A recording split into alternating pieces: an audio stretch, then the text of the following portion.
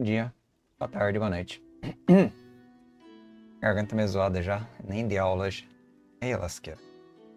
Mas também, é... mais vídeo aqui no canal Roteiro da Vida, sou eu, Kai.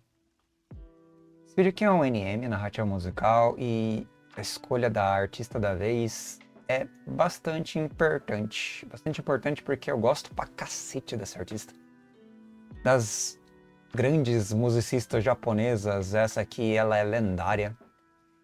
Ela tem uma carreira incrível, que é a Shina Ringo. A Shina Ringo eu conheço ela há mais de 10 anos já, um bom tempo já. E eu acompanho a carreira dela junto com a dotada Hirako. Caro, dotada Ricardo. E, mano, essas duas para mim são fantásticas, né? Ambas são incríveis. Tanto a Ricardo quanto a Shina Ringo. E a, o legal da Shina Ringo é que ela tem uma variação enorme de estilo ela pega mais uma bossa nova, vai pro rock, vai para uma coisa mais pop, vai para uma coisa mais até enca, por assim dizer. Ela varia muito, sabe? E ela é muito multifacetada. E a produção das músicas são geniais, assim, como ela consegue criar a atmosfera sonora das músicas. Mas focando nessa especificamente, com uma música que eu gosto pra cacete, tem um clipe muito incrível também. Eu não sei qual época dela, que ela tem vários momentos na carreira, né? Eu não lembro especificamente qual momento da carreira é essa música em si. Mas gravando a tela para vocês e lendo a letra, e interpretando um pouco a letra, né? Vamos lá. Depois eu ouço a música, né? É, e descrevo um pouco a sonoridade e outras características também, né? De todo modo, o vocal da Xanaringo é fantástico. Tá sempre fantástico. A mulher é incrível. E aqui temos a música Yamini Furuame. Chuva caindo no escuro. Em inglês fica mais interessante. Em inglês ficaria como A Diving Rain in Darkness.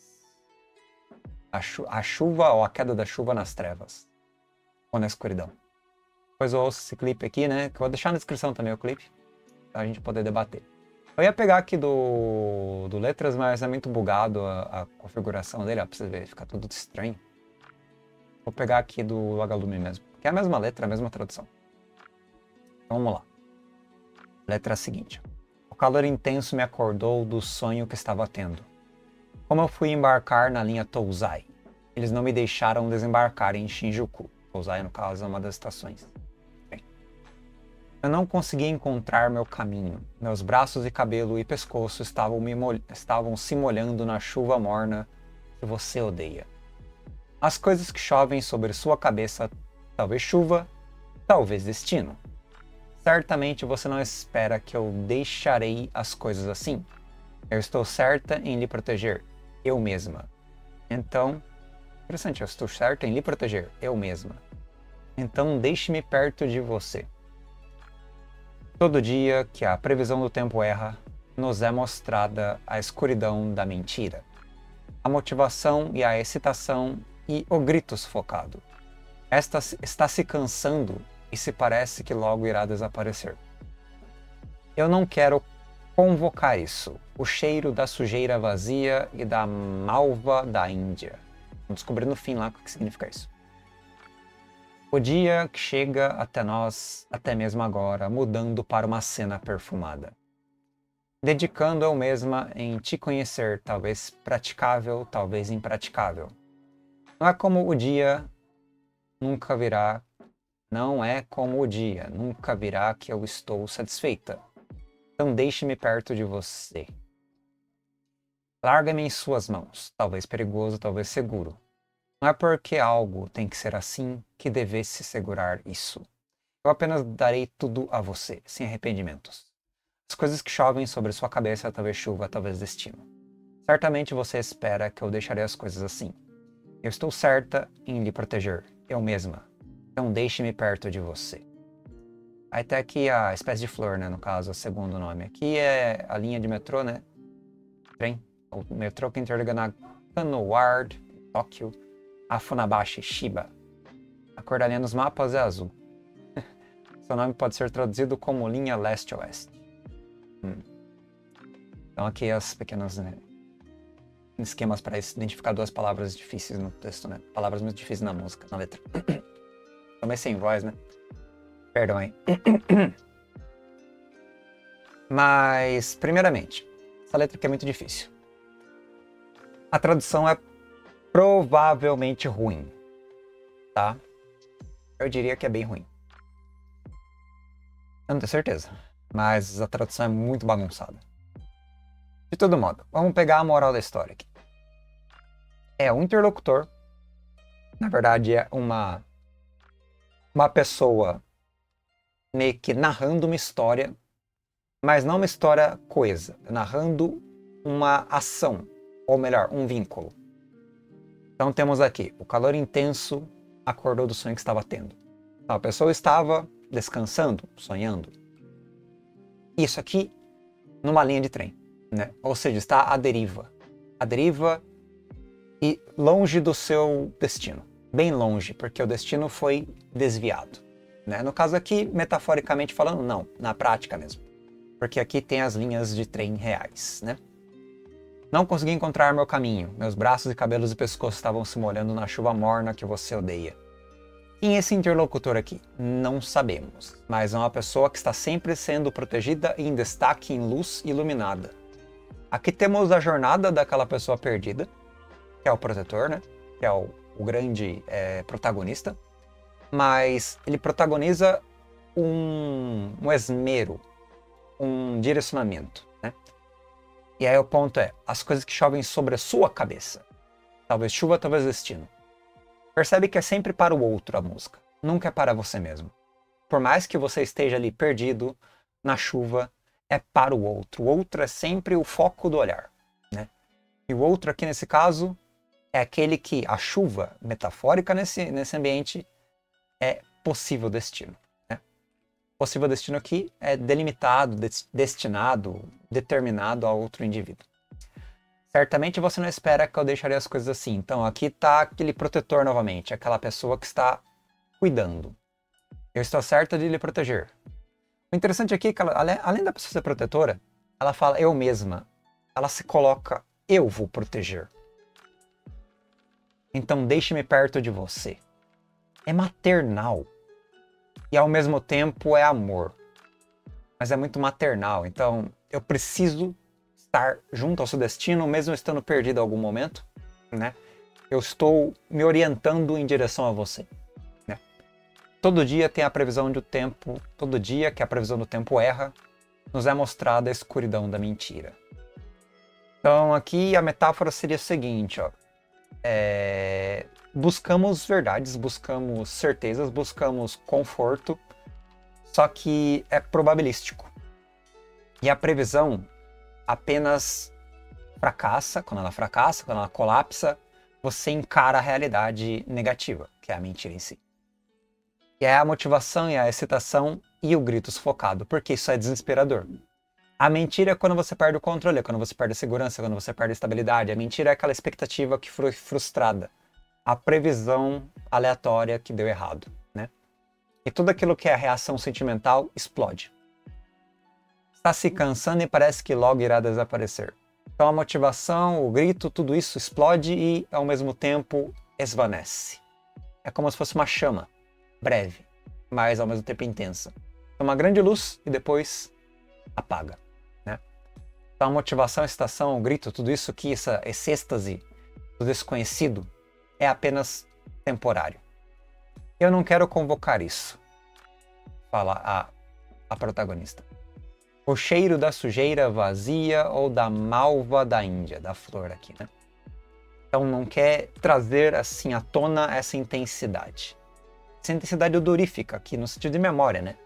No sentido de passado, no sentido de tragédia, talvez. Ah, oh, o dia que chega até nós, até mesmo agora, mudando para uma cena perfumada. Então, meio que não quer rememorar, mas ao mesmo tempo quer destinar-se a um ângulo positivo. Né? Uma cena glamourosa, perfumada, nostálgica. Dedicando ao mesmo em te conhecer. Talvez praticável, talvez impraticável. E aqui está a falta de conexão com a proteção, né? O protetor quer proteger, o protetor quer de algum modo direcionar para um paraíso, para uma coisa nostálgica, por um passado agradável, mas talvez não seja fácil, porque conhecer o outro para poder protegê-lo é necessário. E é complicado. Não é como o dia, não é com o dia nunca, aqui tá muito mal traduzido, cara. Não é com o dia, nunca virá que estou satisfeita. Nunca virá, nunca verá. Não é que um dia nunca verá que estou satisfeita. Então deixe-me perto de você. Essa tradução é a pior parte possível da letra. Muito difícil traduzir isso aqui, é muito bugado. Não é com o dia. Deixa eu ver em inglês como é que seria. Se é que tem inglês, não tem inglês, também tá português direto. Vamos tentar ver isso. Não é como o dia. Nunca verá ou virá que estou satisfeita, então deixe-me perto de você. Então nunca estarei satisfeita, nunca chegará à satisfação, então eu preciso estar sempre ao seu lado protegendo você. É uma vida totalmente direcionada, totalmente vinculada ao destino do outro. Né? Largue-me em suas mãos. Ao mesmo tempo, é um convite, ó. Deixe-me em suas mãos, ou largue-se em mãos. Essa palavra largue-me em suas mãos também é muito ruim essa tradução, cara. É horrível a tradução. De todo modo, alguma coisa do gênero assim, ó. É, me deixa ao lado. Esteja nutrindo a nossa relação. Nutrindo, talvez perigoso, talvez seguro. Então tem um atrito, mas talvez perigoso, talvez seguro mas isso tem que estar às mãos, né? Tem que estar próximo, tem que estar em contato. Não é porque algo tem que ser assim que deve, deve se segurar isso. É novamente a metáfora de segurar, né? Então não é porque as coisas são ruins que deve mantê-las do mesmo jeito. Eu apenas darei tudo a você, sem arrependimentos. Então, todas as possibilidades, todo o destino, toda a segurança, toda a proteção, toda a vida está nas suas mãos mas ao mesmo tempo essa vida tá te nutrindo e protegendo. Ela tá nas suas mãos no sentido de que você é dono dela. Mas ela tem auto vontade particular, autossuficiência, autonomia e ela age, mesmo estando à mercê dessa situação e submissa, ela está submissa com um projeto, com uma ordem, com uma determinação. Dará tudo, tudo a você sem arrependimentos. As coisas que chovem sobre a sua cabeça são chuva ou destino. E o destino é quem aqui? É a pessoa que está moldando o destino do outro. A chuva é a presença, talvez. É inevitável, né? E aí fala o seguinte: certamente você não espera que eu deixaria as coisas assim. E é intromissivo, né? Eu estou certo em lhe proteger, eu mesma, então deixe-me perto de você é, uma, é um mandatório, né? É uma demanda, é uma, uma obrigação. É quase como se fosse. Como posso dizer? É até meio doentio, porque aquele que é protegido, ele é sufocado. Ele é protegido obrigatoriamente, sem poder se defender em certo sentido, ou fugir. Né? Enfim, é uma letra intensa, muito complexa, com uma tradução horrível, fenomenalmente horrível. Vou cortar aqui a trilha de fundo. Eu vou cortar, na verdade, toda a trilha de fundo, tá? 100%, porque eu vou ter que ouvir a música enquanto eu comento. Aí eu já corto aqui para cena 1 também. Só para comentar então a sonoridade dessa música. Deixa eu diminuir o som aqui da, do clipe. é um clipe muito intenso, com muito barulho. Começa com uma parte muito, assim, incômoda, né? Um barulho forte, pesado, é, de violino. Aí ele encaixa para uma narrativa artística, né? Brincando com água, brincando com a dança, brincando com a arquitetura, com os movimentos do corpo, né?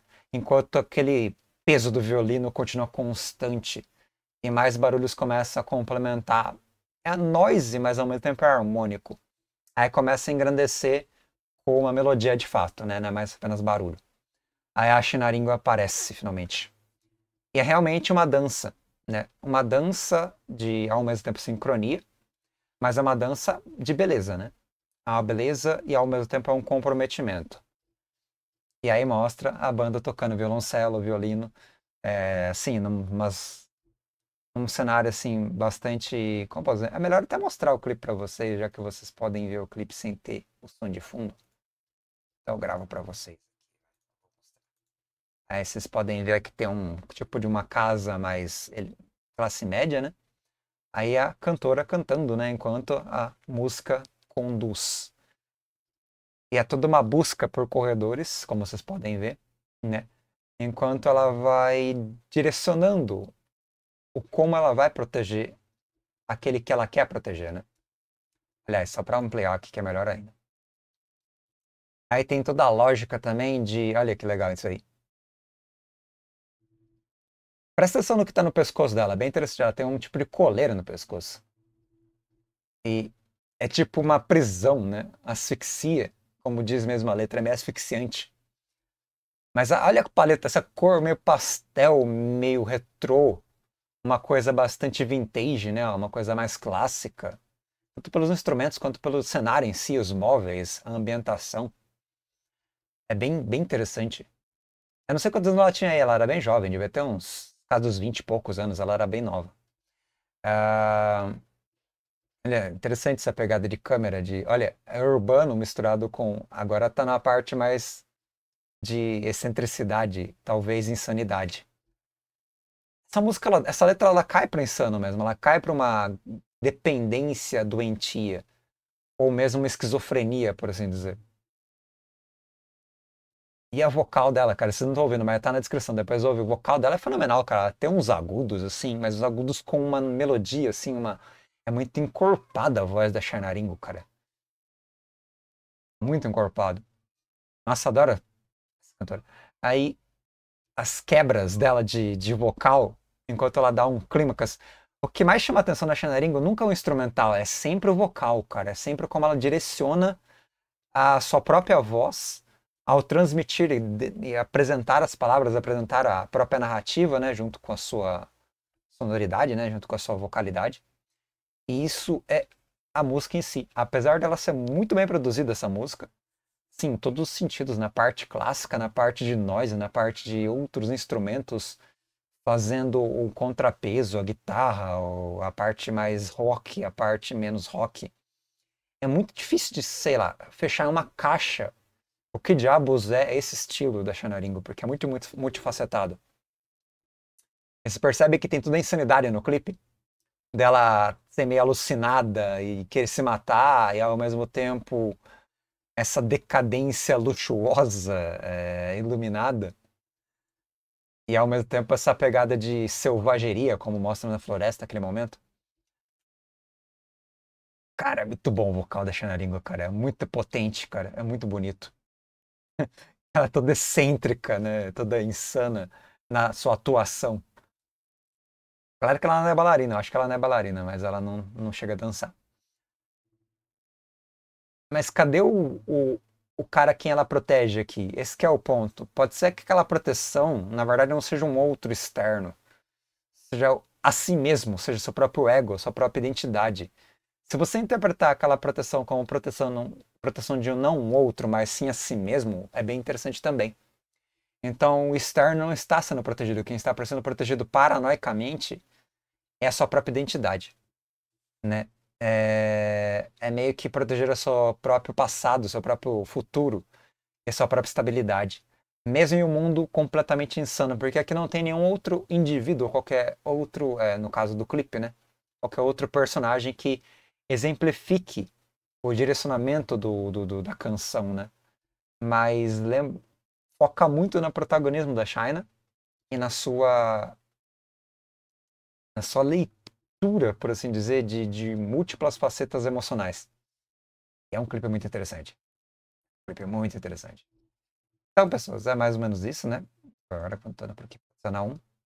Agora até para pôr a de fundo de volta. Mas, mano, eu adoro Xanaringo. Adoro de coração. É uma escolha muito arriscada de letra, né? Uma escolha muito difícil de música. Uma narrativa musical muito complicada por causa de todo o contexto aqui da, da tradução, enfim, da, da própria dificuldade de interpretar da direcionamento da própria letra também, né? Enfim.